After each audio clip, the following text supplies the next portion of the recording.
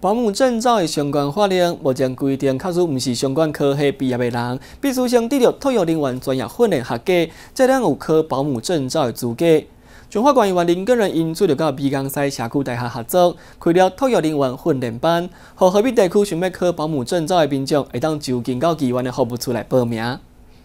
为着要更较好来照顾民众的生活。中华馆长王惠美就任以来，在幼儿、青年、老年的相关政策上不断检讨，并且提出一连串的配套措施，就是要让民众生活有安定感，进一步提升中华馆的人口。中华馆员林根仁表示，托育人员训练班就是其中之一。我咱王馆长啊，伫咱中华馆这边，遮个无论是啊啊老人群体，还是幼儿。还是啊，这低收，伊拢非常的照顾吼。啊，尤其是啊，咱在顶两个月有咱啊老花眼镜的发放吼。啊，过来就是咱伫咱何必遮个有亲子馆，啊嘛已经啊动土要来啊设立啊。啊，伫咱啊新港乡迄边遐个啊嘛要来用一个啊青年住宅，以及啊青年创业的一个啊基金的迄个申请吼。啊，所以伫咱馆长伫咱中华馆这边遮个。啊，照顾不只是啊年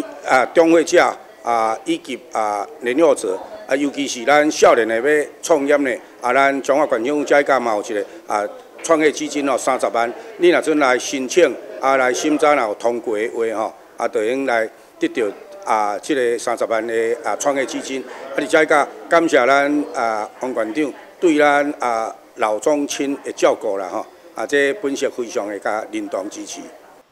李港西社区大学副校长杨家玉表示，即届将有假日班甲平日班，分别伫新港国中甲中华关医院林根人服务处开班。大学大学承办美港西社区大学以来，至今已经迈入第七年。哦，我们每年都会开办托育人员的专业教育训练课程。那这几年呢，也跟林根人议员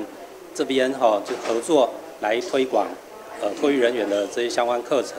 那议员长期也很关心我们在这个保姆系统这一边的各项的服务内容。哦，那透过这样的合作，我们相信说可以为我们社区地方上的这些爸爸妈妈或者是阿公阿妈在带帮忙带小孩的时候，能够更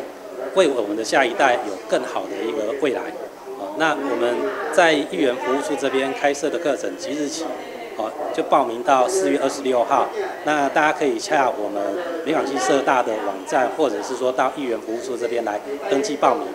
毕竟即马各项工作愈来愈讲究专业化，因此接受相关训练的学员，特必须要上课一百二十六点钟，修满七个学分，经过结业测验合格了后，该当取得中华县政府合法的结业证书，进一步成为职业的保姆。新中华新闻里边洪可比采访报道。